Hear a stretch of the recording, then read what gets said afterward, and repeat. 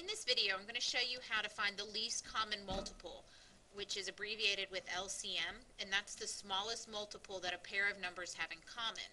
So you can take the numbers 4 and 5, and you could list out the multiples of each number if you wanted. So uh, multiples of 4 are 4, 8, 12, 16, 20, and so on. Or you, and then you could say the multiples of 5 are 5, 10, 15, 20, and so on. So the least common multiple, the smallest multiple that they have in common is 20. Now you can use that method, or you can use the ladder method that, um, that we've used for greatest common factor. And so way, the way that that method works is um, you pick your two numbers. So let's say we're going to do the um, least common multiple of 8 and 10. And so we want to start off by finding a common factor of both 8 and 10. So I'm going to start with 2. 2 goes into 8 four times, 2 goes into 10 five times. There are no other common factors of 4 and 5. So um, the least common multiple is everything that's on the outside here, everything that's on the outside. Notice it makes an L um, multiplied times each other. So the least common multiple is 2 times 4, which is 8, 8 times 5, which is 40. So the least common multiple is 40.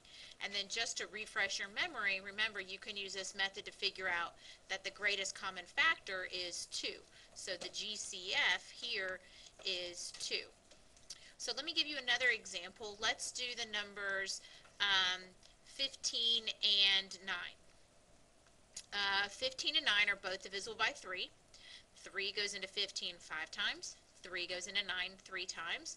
Um, there is no other common factor of 5 and 3 other than 1, and we don't want to use 1 because it doesn't really help us get anywhere. Uh, so we're going to put a L around all of this. So the least common multiple is 3 times 5 times 3, which is 45.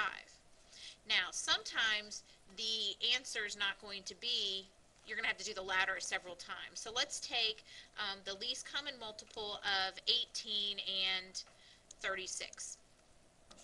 Okay, um, 2 is a common factor of both 18 and 36. 2 goes into 18 9 times, and 2 goes into 36 18 times. Um, 3 is a common factor of both 9 and 18.